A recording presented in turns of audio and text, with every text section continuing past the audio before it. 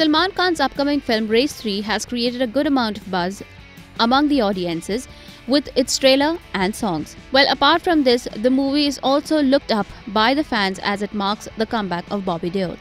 Indeed, the soldier actor has gone through a drastic transformation for the action thriller. Regarding reports that Salman Khan was planning to produce Bobby's next film, he said, Also reports, Bobby, that uh, Salman i- is really going to produce a film for you, starring you in the lead. Uh, See, Salman is an angel in my life. Okay, he's the most awesome human being I've ever met from my industry, and no one does so much for anyone. And not that he's doing me a favor. He's doing it because he sees the fire in me, and he wants me to be the best again. And um, that's it. Well, the 19th edition of IIFA, which is taking place in Bangkok from June 22nd to 24th, will have a heavy dose of entertainment that includes performances by Bobby Deol after 7 years and legendary actress Rekha after 20 years.